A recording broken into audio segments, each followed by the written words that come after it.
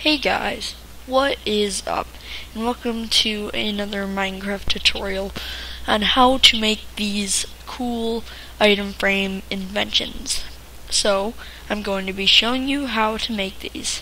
So, I hope you enjoy and this helps you with your Minecraft and makes whatever you want super cool. Alright, so what you need for this is you need any type of block. And then in this chest, you need six item frames, one fence, one button, glass, and whatever type of carpet you need four. So, take all this stuff.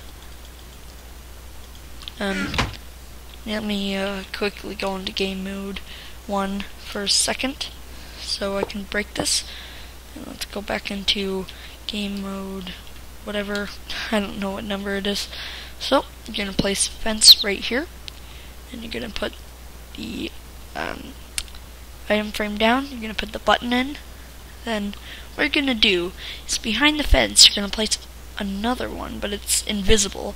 It's a glitch. So what you're going to do is you're going to walk right into the uh, item frame, take the piece of glass, and you're to put it like that.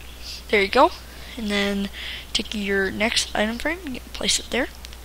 Then, and then go back in, take your carpet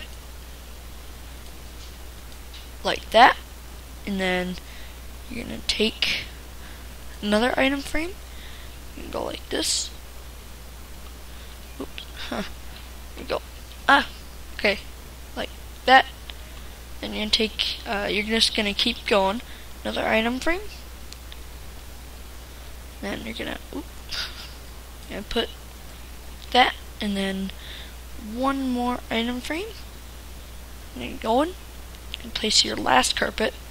Then you're done. Um, oh, I forgot one more thing. Need uh, your block again. Uh, let me quickly just grab an iron block. There we go.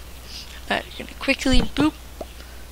And oh well, I lost one, but you know, there we go like that. And then, uh, well, since I didn't do it quick enough, that carpet is supposed to be on there. But yeah, guys, that's pretty much it on how to do this.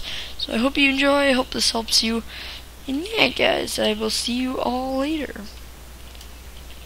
Bye.